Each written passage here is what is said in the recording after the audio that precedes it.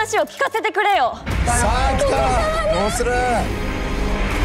うちの親父だったんです誰が裏切り者なんだ？さあ誰だ？死ぬまで笑って生きようぜ。ダッサ。えー、大爆破。完全に映画の規模やん。何なんだあの化け物？一体何が？感染するっていうの。全てにけりをつけてからなこれほんまにトークサバイバーか？最後まで医者でいさせてくれや。嘘でしょ？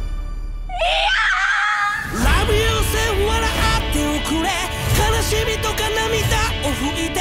Tonight tonight 笑っておくれ。一人ぼっちじゃないゲストに石原さとみさんが来た。なんか俺テンパっちゃってさ。石ちゃんは最近何に上がってんですか迷子の人だから。絶対に嫌だホテルに置いてきちゃう。週刊文春に取られたんだよ。強いって。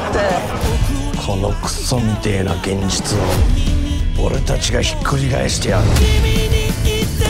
やばい。どうなんの？俺たちが進むのはお笑い道。ど真ん中。だっせーな2共演者の票もらって「この人誰ですかね?」って「あその人は有名なインフルエンサーでインフルエンサーってなんだよ 職業じゃねえからそれ